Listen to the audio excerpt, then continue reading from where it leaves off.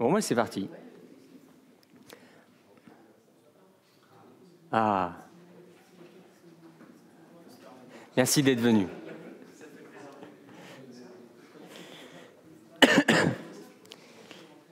ok.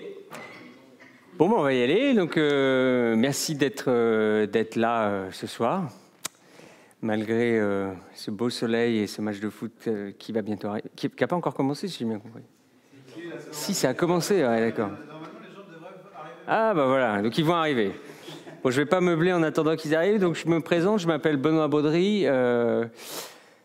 maintenant, je suis prof d'informatique à KTH en, Suède. Le KTH, c'est l'université technique de, Stockholm.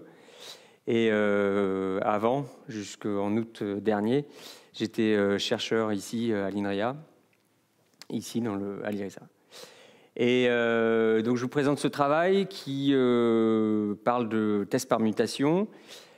toutes les planches sont en anglais, je vais parler en français, et c'est un travail qui est commun avec mes deux collègues ici présents, qui sont eux restés à Rennes, euh, Caroline et, euh, Oscar, et Martin qui euh, est aussi à KTH maintenant. Les logos qui sont sur la droite, sur la gauche, donc il y a l'INRIA, KTH et Stamp. Donc Stamp, c'est le, projet européen dans le contexte duquel on fait ce, travail-là. Donc c'est un projet collaboratif avec plusieurs sociétés qui développent du logiciel et euh, trois labos de recherche. Donc le test permutation, qui, qui sait ce que c'est le test permutation? Quasiment un peu la moitié des gens. Ok. Donc euh, pour démarrer, quand on, peut se poser la question de euh, qu'est-ce que c'est qu'une bonne suite de tests, et on peut se poser cette question-là vis-à-vis de, plusieurs critères. Enfin, une bonne suite de tests, elle est bonne vis-à-vis de, plusieurs choses. Donc, elle peut être bonne parce qu'elle euh, elle couvre les exigences. Donc, on a notre cahier des charges et on a bien des cas de tests qui, qui viennent s'assurer que les exigences sont bien satisfaites par l'applicatif. Une suite de tests, elle, peut être bonne parce qu'elle est bonne pour évaluer la capacité de notre application à monter en charge.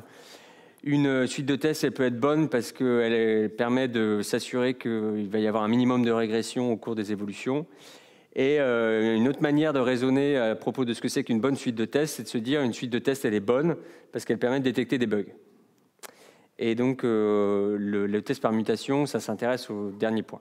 Donc moi, là, quand, je vais parler de bons cas de test, quand je vais parler de tests par mutation, l'idée, c'est de s'assurer que les cas tests qu'on écrit, quelqu'un écrit des cas tests, ils ont plein de, très bonnes raisons d'exister, ces quatre tests-là. Mais le test permutation, il s'intéresse à déterminer si ces quatre tests-là, ils sont capables de trouver des bugs dans un programme, dans le programme qu'ils sont en train de tester. Donc, par exemple, si on, prend ce, petit exemple-là, donc on a un cas de test qui euh, teste euh, ce, cette fonction factorielle. Donc euh, voilà, c'est un vrai cas de test avec qui appelle une fonction avec un paramètre et puis un assert qui vient déterminer une propriété sur le, résultat de l'appel de fonction. Si on regarde le, taux de couverture, qui est une métrique assez couramment utilisée pour déterminer si une suite de tests est bonne. En gros, une suite de tests est bonne si cette suite de tests couvre le code. Donc couvre le code, ça veut dire que euh, les, lignes, les instructions sont euh, touchées lors de l'exécution du de test. Et donc là, si on exécute le de test qui est à gauche, ah, je ne sais pas comment, on lit bien tous, dans le même sens. Donc si vous exécutez le de test qui est à gauche, euh, vous allez avoir le taux de couverture qui est à droite.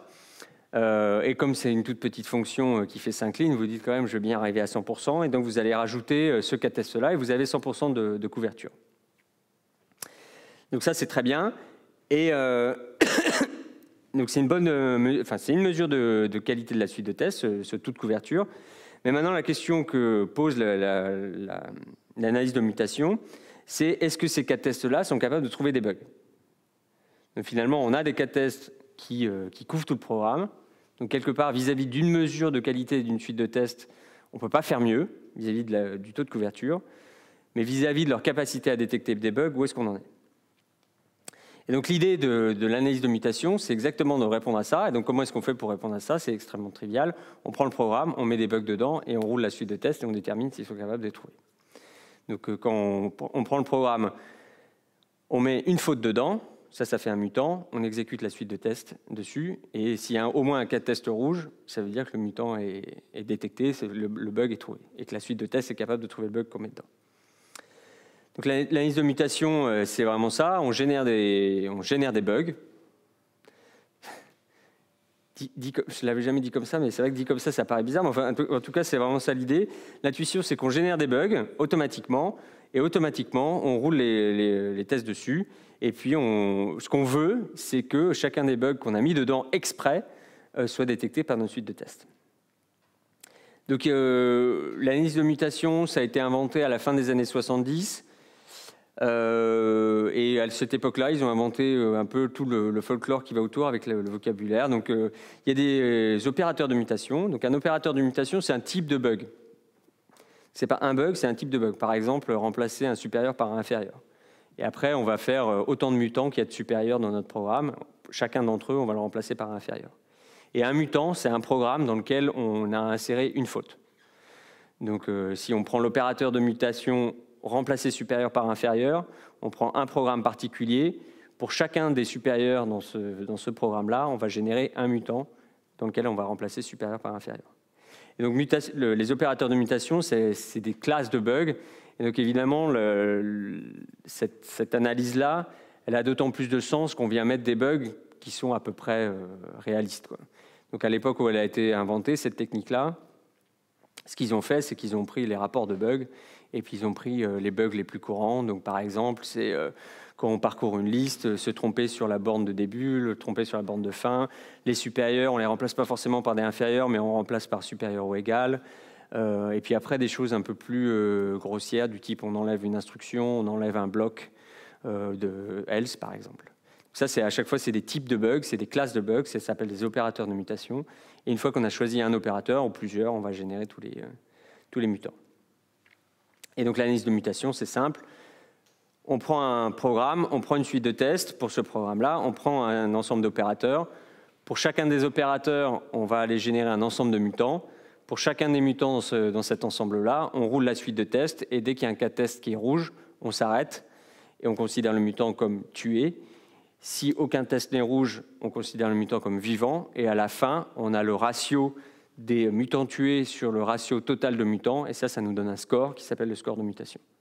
Et ce qu'on veut, à nouveau, le, plus ce score est élevé, mieux c'est. Pourquoi? Parce que plus ce score est élevé, plus notre suite de tests est capable de, tuer, de détecter les bugs qu'on a mis dedans. L'outil euh, qui fait ça euh, plutôt bien à l'état de l'art euh, pour Java, il s'appelle PyTest. Je ne sais pas si vous le connaissez. C'est un outil euh, open source euh, qui euh, vient faire toute cette mécanique de générer les mutants, exécuter les tests et tout ça de manière relativement efficace. Donc évidemment, il ne prend pas un programme Java et génère une autre version du code source il fait ça de manière un peu plus efficace, donc il, génère tous les, changements, et puis il va aller faire un changement dans une classe, il va recharger que la classe dans laquelle il a fait le changement, il exécute que les cas de tests qui couvrent cette classe-là, enfin voilà, il, essaie d'optimiser le processus, parce que c'est quand même, on sent que ça va être euh, gourmand, j'ai des nombres un peu plus tard, et euh, il implémente tous les euh, opérateurs de mutation de, qui sont là, donc un peu les, opérateurs de mutation standard, donc changer les expressions dans, des conditions, changer les, constantes. Donc, par exemple, à chaque fois qu'il y a une valeur, un, entier constant, on fait un plus 1 ou un moins 1 dessus. Changer les valeurs, de retour, supprimer des, euh, des appels de fonction et puis euh, changer le, constructeur. Et donc, si on reprend le petit exemple qui est là, euh, qu'est-ce que ça appliquer Pit dessus, qu'est-ce qu'il va faire? Il va générer 7 mutants. il va générer 7 versions de la fonction factorielle. Et dans chacune d'entre elles, il va insérer un bug tel qu'il est là. Donc par exemple, la condition euh, si n égale à 0, euh, on va avoir si euh, n est différent de 0. La valeur de retour, on va aller mettre un plus 1 sur la valeur, etc. Donc pour le, par exemple, pour la condition, l'expression du, du, for, on va, on va générer, enfin Pit va générer automatiquement trois mutants un qui remplace le supérieur inférieur ou égal par inférieur, un qui fait une négation sur l'expression, et puis un qui fait un moins moins sur le, compteur au lieu de plus plus. Donc ça, ça génère 7 mutants, Pete va générer 7 mutants, et ensuite il va reprendre, euh, donc on a notre, notre fonction, on a les, les 7 mutants qui sont là, et maintenant si on reprend nos deux cas de test euh, du départ, donc nos deux cas de test qui avaient un taux de couverture de, 100%, euh, le premier, il tue il détecte les bugs qui sont, les mutants qui sont là en vert. Donc il va, en détecter 4, il va en laisser 3 euh, vivants. Euh, le deuxième, il va euh, en détecter un de plus. Et donc on a exécuté l'intégralité de notre suite de tests sur ce programme-là.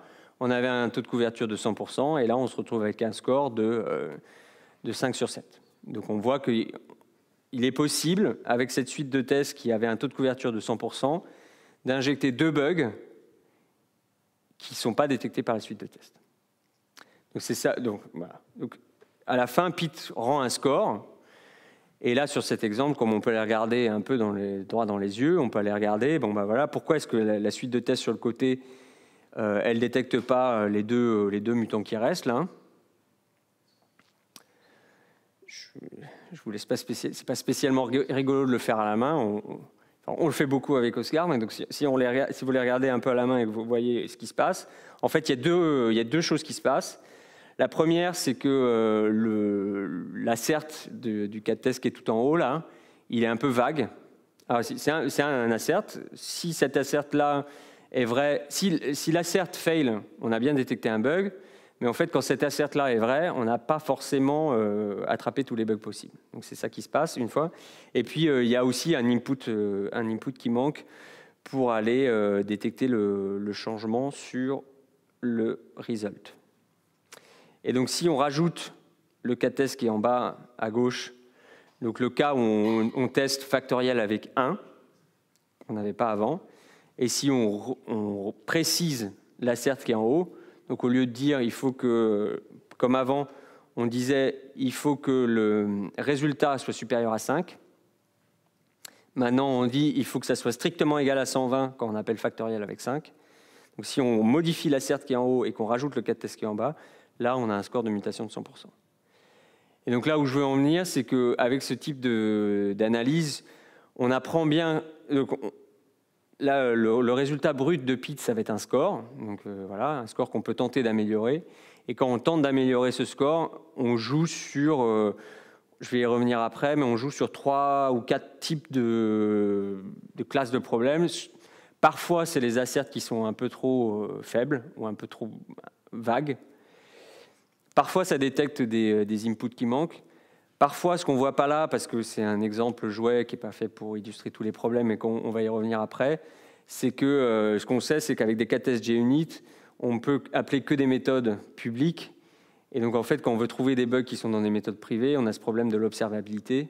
Donc, des fois, le, bug, il change quelque chose qui n'est pas observable depuis euh, l'extérieur de, la classe. Et donc là, la manière d'améliorer ça, c'est vraiment des questions de plus de design.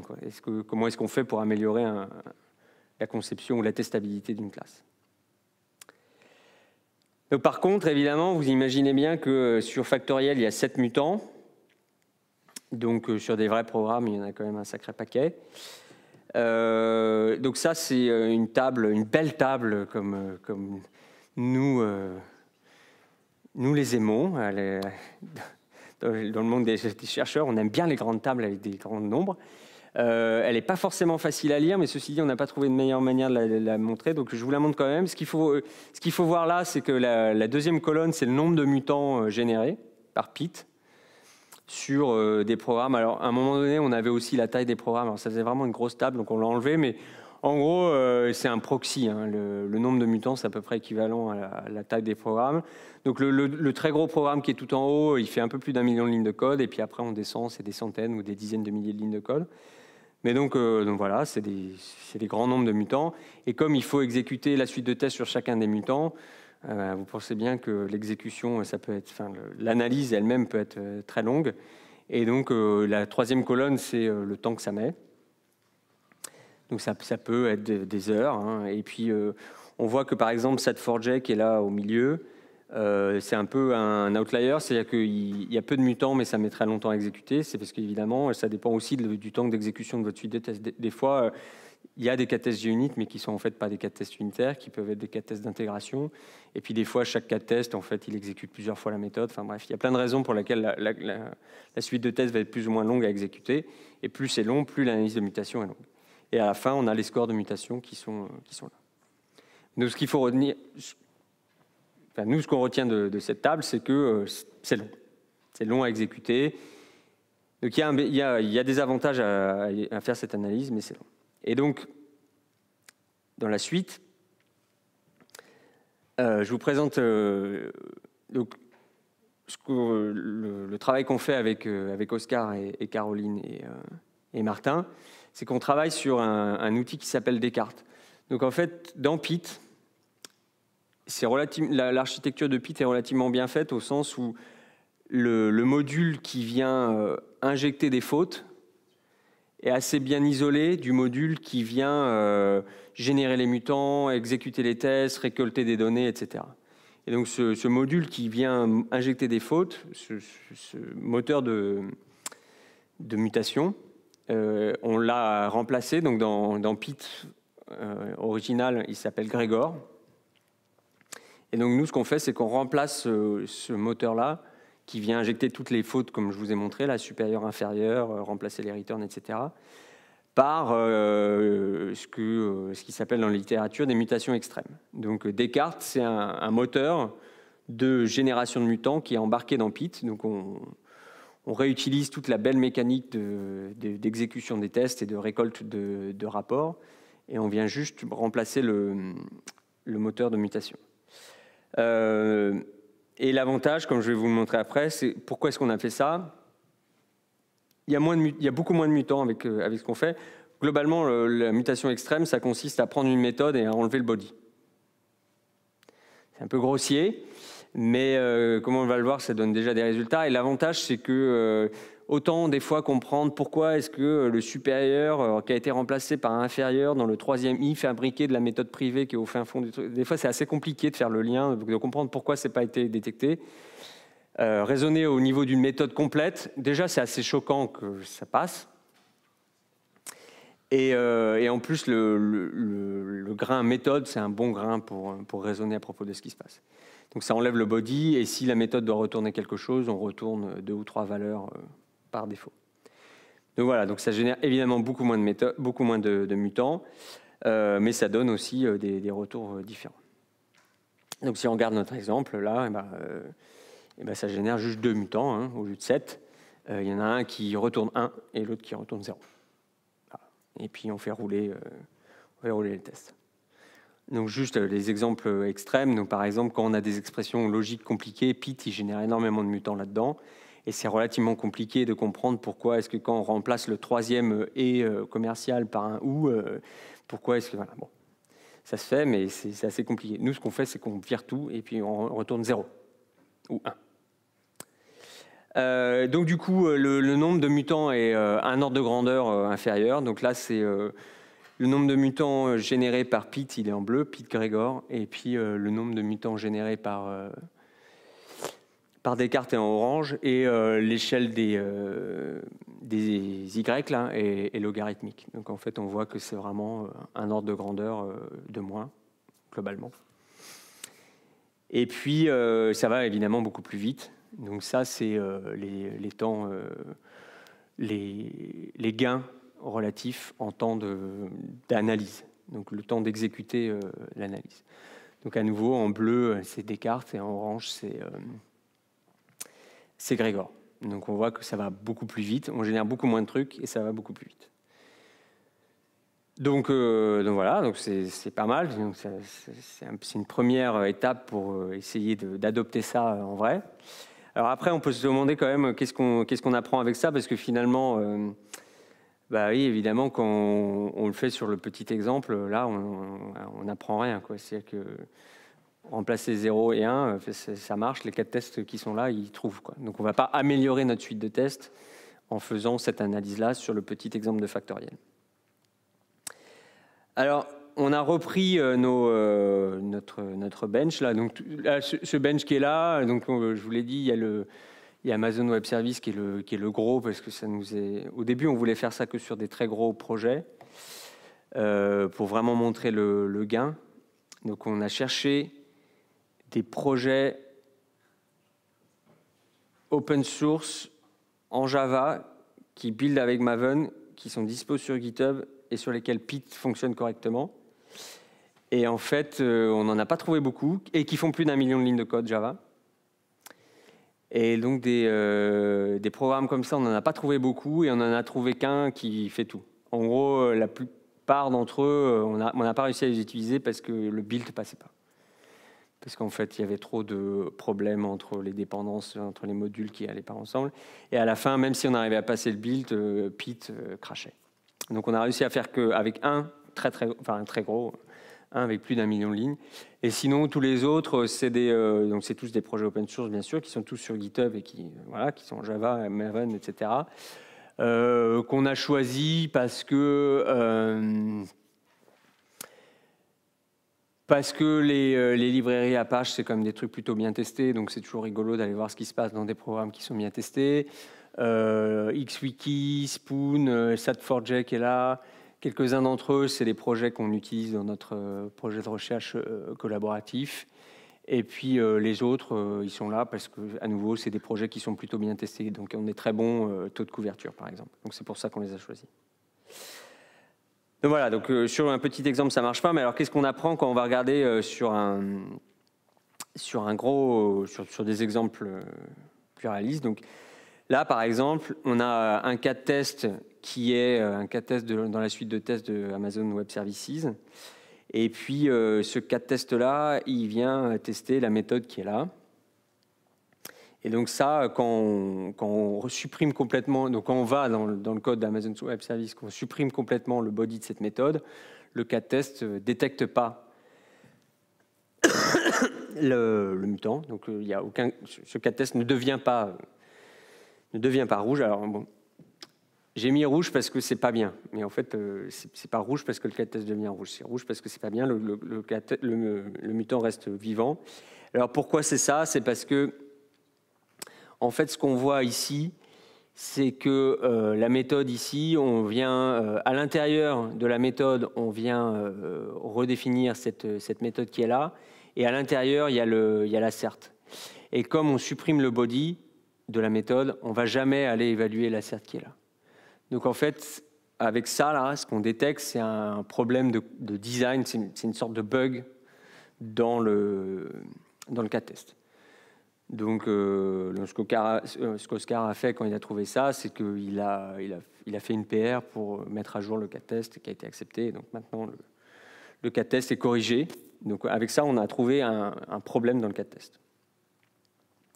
Ou un missing, enfin un oracle qui manquait, parce qu'en gros, il y avait bien un assert, mais il n'était pas évalué quand on faisait ce, il y avait cette erreur.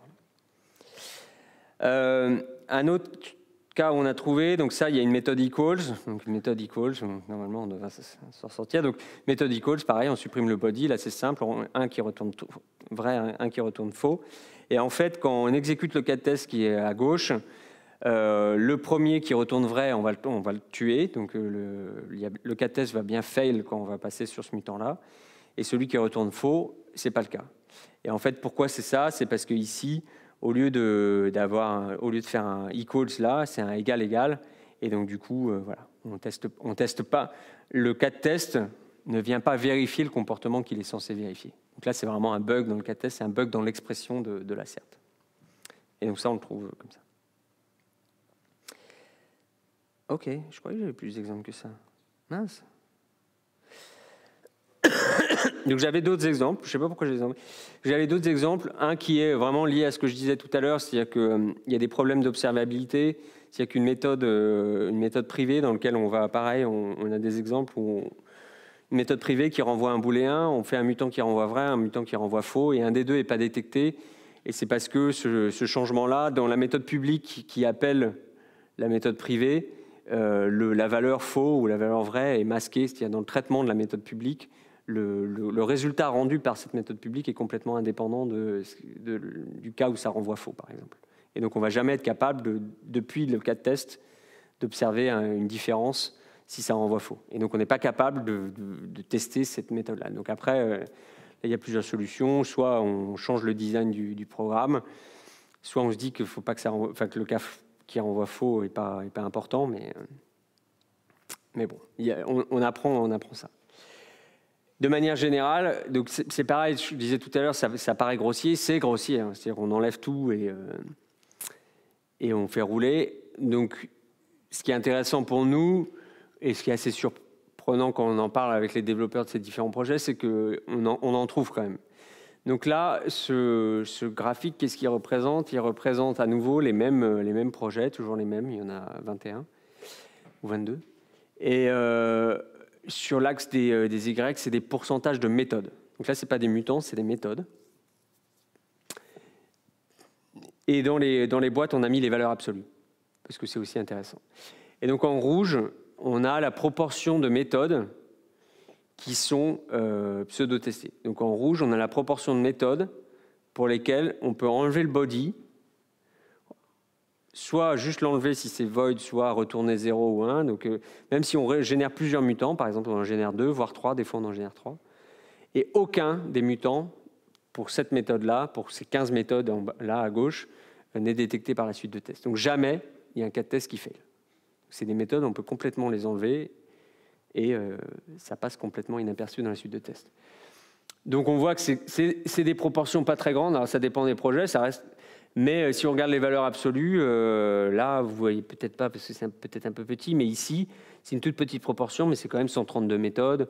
Voilà, c'est des centaines de méthodes. Là c'est carrément 600 méthodes, 400, 500 méthodes. Enfin voilà, c'est quand même il y en a. Il y a déjà de quoi s'occuper euh, avant de s'intéresser à, l'analyse plus fine avec Pete. Euh, et, donc, quand je dis il y a de quoi s'occuper, c'est que bah, voilà, améliorer la suite de tests. Si l'objectif c'est de réduire ce nombre-là, bah, ce qu'il faut faire dans la plupart des cas, c'est améliorer la suite de tests, soit, rajouter des tests, soit rajouter des asserts, fixer des asserts, enfin voilà. Et bon, il y en a un certain nombre. Euh, évidemment, la plupart sont vertes, hein, donc la plupart, c'est euh, si je si je change, j'enlève tout brutalement, euh, les cas tests fail. Et les jaunes, c'est des méthodes pour lesquelles si on a plusieurs mutants, par exemple le cas de tout à l'heure, on avait un qui renvoie vrai et l'autre qui renvoie faux. Eh ben, dans un cas, la suite de tests fail et dans, un autre cas, elle passe. Donc c'est des cas un peu intermédiaires sur lesquels on n'a jamais vraiment réussi à se décider sur comment on les appelait. Mais, euh, voilà. Et donc là, à nouveau, euh, c'est des toutes petites proportions, mais si on regarde les nombres euh, absolus, bah, il y en a. Et, et donc voilà. Et donc c'est pour ça tout à l'heure, on a regardé, on, on essayait de savoir qui allait être là, parce que c'est toujours rigolo de faire rouler ça sur vos projets à vous. Donc nous, on veut bien le faire. Si vous, avez des projets sur GitHub, comment? Jenkins? On n'a jamais essayé de faire rouler sur Jenkins. C'est peut-être ça, ouais. Il faudrait. Ouais, non. Si, si Pete marche pas, euh, des cartes, euh, ça marchera pas.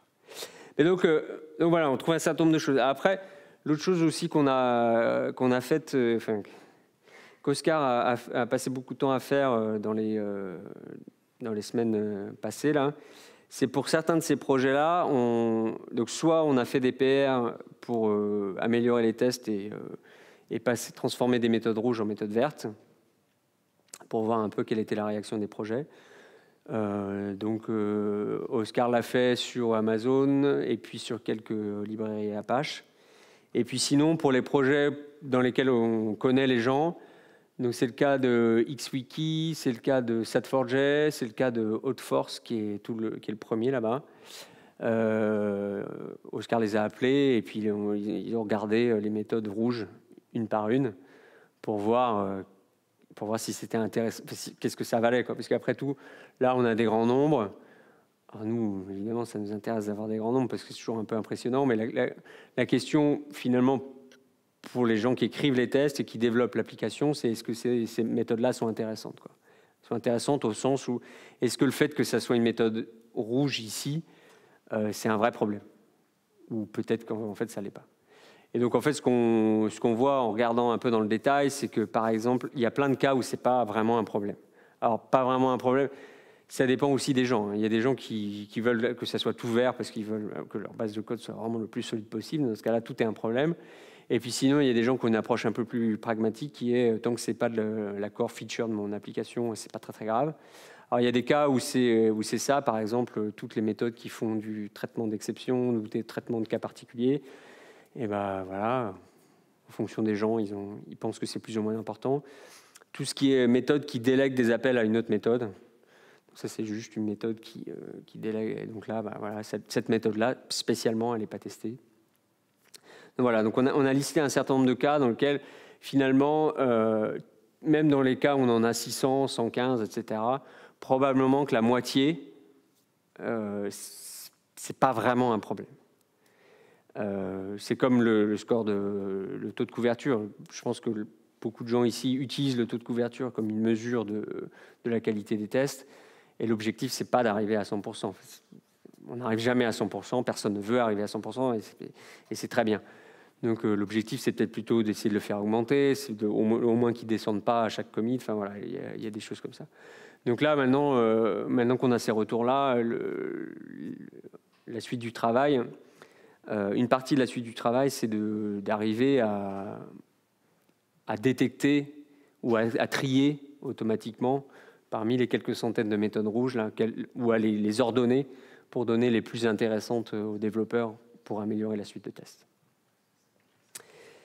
Euh, l'autre chose sur laquelle on, travaille beaucoup, parce qu'à nouveau, on travaille avec des gens qui, développent du logiciel et on a envie qu'ils l'utilisent. Et euh, quand on leur dit, ouais, mais on, va. Euh, avant, ça mettait 5 heures et maintenant, ça met plus que 30 minutes. C'est vachement bien, mais ça met encore 30 minutes. Donc, donc, du coup, on essaie d'utiliser des cartes.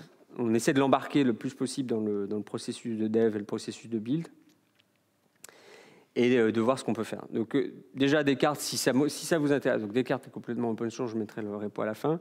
Et puis euh, pour l'utiliser dans Maven, donc il est, il est dispo sur Maven et donc voilà, il suffit de, c'est assez simple aujourd'hui de le faire rouler avec une suite de tests JUnit 5 ou version d'avant, et puis d'utiliser Pit et d'utiliser le, d'utiliser le moteur Descartes. Donc on voit ici là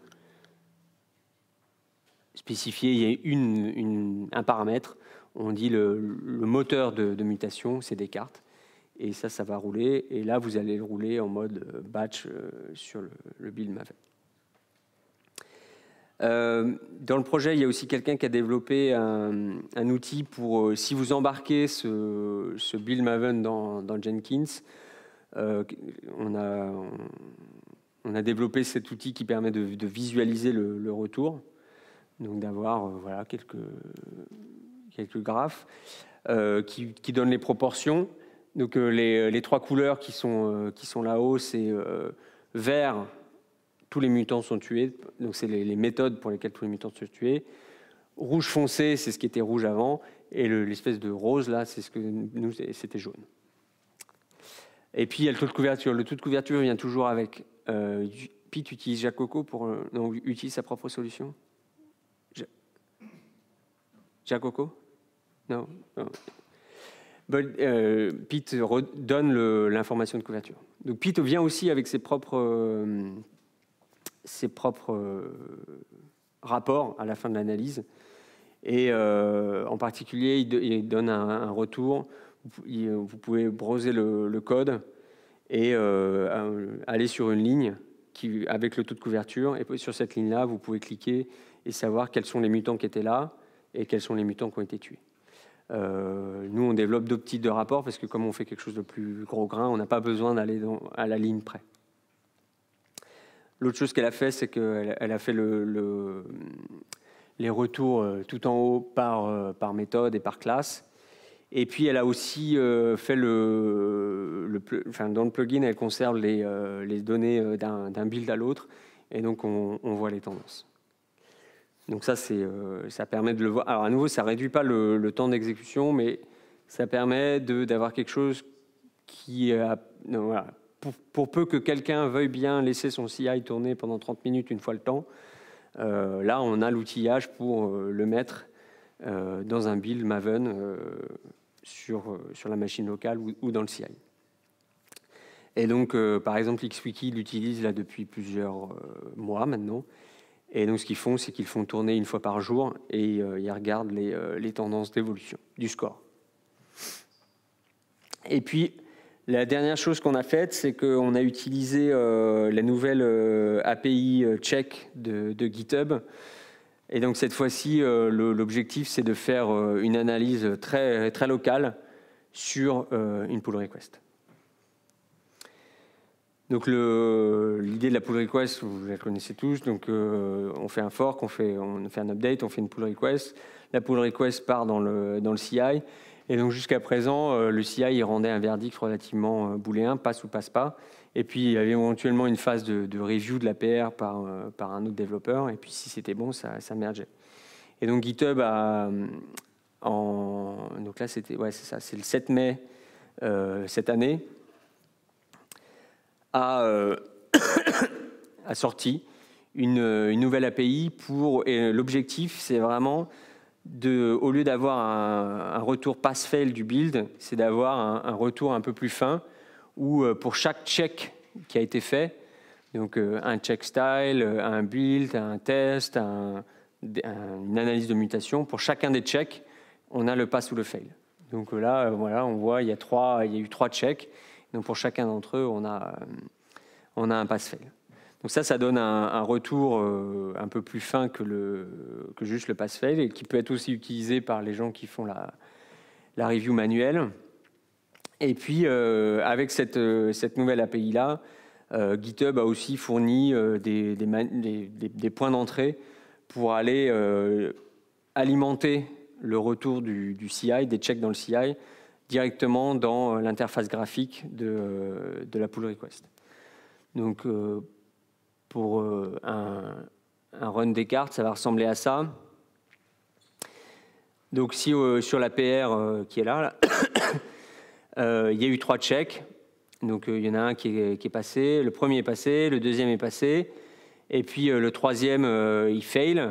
Il fail à cause de trois, trois problèmes qui sont trois, trois méthodes rouges, donc trois méthodes pseudo-testées, trois méthodes pour lesquelles on a, on a réussi à enlever le body trois méthodes qui sont dans le code qui a été modifié par la PR. Donc pas, on n'a pas fait l'analyse partout. On a fait l'analyse que dans les, méthodes qui sont modifiées dans la pull request. Donc du coup, ça, réduit encore plus. qu'on n'en génère pas beaucoup. Et parmi ces méthodes-là, il y en a trois pour lesquelles on a roulé la suite de tests, on a enlevé le body et ça n'a pas fail. Et, euh, et puis l'autre retour qu'on a, c'est que si on clique dessus, je l'avais préouvert, mais voilà, c'est là. Donc on, va, on peut voir directement que euh, dans cette méthode-là, voilà, on va directement à la ligne. Donc évidemment, ça marche, ça marche à la ligne. Donc comme nous, notre transfo, elle est au niveau du body, on, on vient la coller euh, sur la première ligne de la méthode. Et donc ce qu'on dit, c'est que cette méthode-là, là, card my traces, si on l'enlève complètement et qu'on la remplace par, euh, par 0 ou par 1, euh, c'est pas détecté. Et l'autre chose qu'on sait, évidemment, peut-être que vous vous êtes posé cette question-là, donc l'analyse de, Descartes, on l'a fait rouler que sur des, sur des méthodes qui sont couvertes par les cas de test. Donc on n'essaie pas de muter des méthodes qui ne sont pas couvertes. donc là, euh, l'autre chose qu'on donne, c'est que euh, cette méthode-là, elle est couverte par 4 cas de test. Donc il y a bien, au cours de l'exécution de 4 cas de test, on va toucher cette méthode-là, on va exécuter certaines des instructions qui sont là, et pourtant, si on enlève tout, euh, il n'y a rien qui est détecté. Donc voilà. On a, ce retour-là euh, qui, euh, qui devrait nous permettre de faire quelque chose qui, euh, bah, s'intègre bien dans, un processus. Donc là, c'est un processus à base de PR. On voit qu'on va pouvoir faire la même chose à base de, de commit juste dans le CI. Et l'idée, c'est à nouveau de pouvoir faire passer cette analyse-là à l'échelle en réduisant le, périmètre. Et effectivement, le faire sur un changement, c'est... Et donc après, juste peut-être par curiosité sur comment ça, fonctionne ce truc-là, euh, on a juste, je vous mets juste. Donc l'idée c'est comme c'est un webhook un peu amélioré. Donc euh, dans, GitHub, c'est vraiment à chaque fois qu'un développeur va émettre une pull request, nous on a notre euh, notre serveur, notre notre app qui, tourne sur un serveur à nous. et qui est prévenu. On dit à GitHub, à chaque fois qu'il y a une pull request, préviens-nous et envoie une requête à, voilà, et on lui dit où envoyer la requête. Et ça, ça déclenche l'exécution d'un job chez nous qui va interagir avec GitHub, donc il va aller envoyer des, des, requêtes à GitHub. Donc on voit que la première chose qu'on fait, c'est qu'on vient euh, clone le, repo et on le, récupère. Et si ça, ça passe, alors on va. Donc ça, c'est le premier check qu'on fait, c'est ce qu'on est capable de le récupérer correctement et que tout se passe bien. Si c'est bon, on y va. Ensuite, on build, donc on, build et on, roule des tests. Et à nouveau, euh, au cours donc au cours de, de tout ça, d'abord le check et on range comme ça. Et si ça passe, il est vert. Et puis la dernière chose qu'on fait, c'est qu'on roule des cartes donc euh, côté, euh, côté chez nous, ça veut dire on roule, euh, on roule avec Maven. Et, et, on renvoie les résultats. Et donc là, comme ça passe pas, et eh ben on, a le, on renvoie les données pour faire l'affichage, comme je vous l'ai montré tout à l'heure. Voilà, c'est assez nouveau, donc pour nous c'était intéressant de, l'utiliser. Et en fait, ils veulent migrer pas mal de, services qui étaient dans GitHub, ils veulent les, migrer sur cette, sur cette notion d'app avec l'API check. Donc c'était bien qu'on comprenne ça. Euh, ah J'avais juste deux. Bon, je pense que je, peux passer assez Donc euh, vraiment, c'est ce que je vous ai dit tout à l'heure. Hein, euh, Descartes, c'est juste un, moteur, euh, juste un moteur. C'est pas rien, mais en tout cas, on, réutilise pas mal ce qui a été fait par Pete. Et donc, en entrée, ça prend, ça prend tout ça. Et puis après, ça, génère les tests. Enfin bon, bref, je vous ai expliqué ça tout à l'heure. Voilà, donc aujourd'hui, Descartes c'est euh, un projet open source qui est, euh, complètement euh, fait dans ces technos Java, qui est compatible avec JUnit 5, qui est la, dernière version de, de Pytest, et qui s'intègre avec Maven et aussi avec Gradle. et donc, le, dans le futur, là, nos, actions du moment, donc on a commencé à le faire avec cette, cette API check, c'est de mettre des cartes plus intégrées et plus, plus incrémentales dans un processus d'intégration continue. Euh, et donc on a commencé à faire ça. Donc aujourd'hui, euh, on le fait en n'intégrant que des mutants dans les méthodes qui sont modifiées. Et la brique qui nous manque, c'est de aussi ne rouler que les cas de tests qui touchent les méthodes qui ont été modifiées. pour l'instant, on roule la suite de tests, et donc il faut qu'on fasse cette analyse-là. Donc en conclusion, euh, je vous ai parlé d'un type d'analyse qui a pour vocation à déterminer si vos cas tests sont capables de détecter des bugs. Cette analyse-là, elle s'appelle analyse par mutation. On parle aussi de test par mutation, mais bref, c'est vraiment la même chose. Euh, l'idée, c'est de générer automatiquement des bugs et d'évaluer si la, suite de tests les trouve. Et en gros, comme l'idée, c'est d'évaluer la suite de tests, donc de chercher des problèmes dans la suite de tests, et les quatre types de problèmes qu'on peut trouver, c'est euh, des problèmes dans l'oracle, donc des problèmes dans les asserts. Ce qui est un truc qui n'est pas du tout évalué par la couverture de code. C'est-à-dire qu'en fait, vous pouvez avoir une suite de tests qui couvre 100% du code avec zéro assert, et cette, suite de tests elle trouvera très peu de bugs. Alors on trouvera quand même, on a fait, quelques expériences avec, euh, Oscar, parce qu'il y a une exception qui va, sauter. Par exemple, une suite de tests qui n'a pas d'oracle ne va pas avoir non plus un score de mutation de 0% parce qu'on va mettre des bugs qui vont faire sauter des exceptions, parce qu'on va mettre des bugs qui vont faire rentrer dans des boucles infinies, etc. Mais bon, globalement, une suite de tests qui n'a pas d'oracle, ce n'est pas très utile. Donc c'est assez rare, mais en tout cas des oracles qui sont, pas très, qui sont un peu limités. Donc on va le trouver avec ça. Des fois, c'est parce qu'on a raté une branche. Donc euh, voilà, on a bien couvert tout le code, mais il y avait une donnée un peu spéciale sur la bordure. Par exemple, faire un tableau qui est très exactement le nombre maximum d'itérations qu'on fait. Des fois, c'est lié à la testabilité, donc le fait qu'il y ait des comportements qui ne sont pas très observables. L'autre chose qu'on remarque, c'est que euh, on peut avoir des cas de test qui, euh, couvrent beaucoup de code, mais qui en fait, euh, le cas de test est très loin de la méthode dont le code est, couvert par ce cas de test-là. Et donc en fait, très loin au sens où ce cas de test appelle une méthode qui en appelle une autre, etc.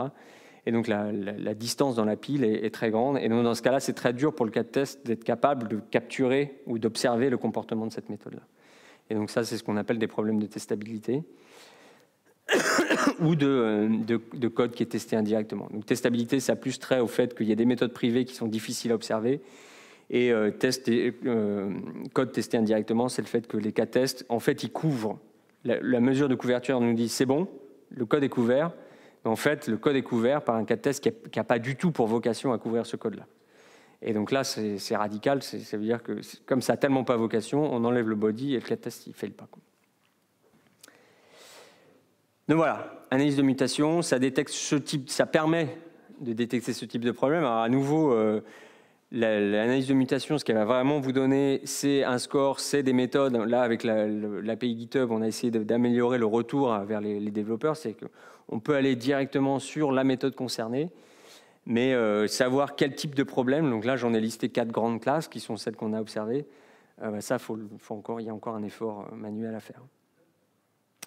Et donc tout ça, c'est euh, disponible euh, sur GitHub. Euh, Descartes est disponible sur GitHub, Pitest est aussi sur, sur GitHub. Donc nous, on ne fait pas Pitest, hein, c'est Henry Coles qui fait Pitest. Nous, on fait le, moteur Descartes. Et tout ça, c'est fait dans le contexte du projet qui s'appelle Stamp. Et, et tout retour sur cette présentation ou sur les outils sont les bienvenus. L'issue tracker de Descartes est là pour recevoir vos commentaires. Merci.